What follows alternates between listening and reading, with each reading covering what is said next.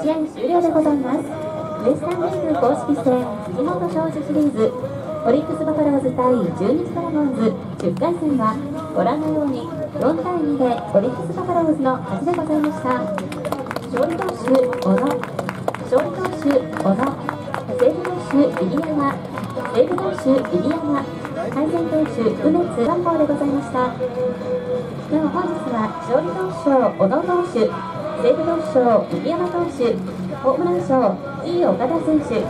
盗塁賞佐野力和選手以上の選手には富方温泉一中より予約券が贈られます。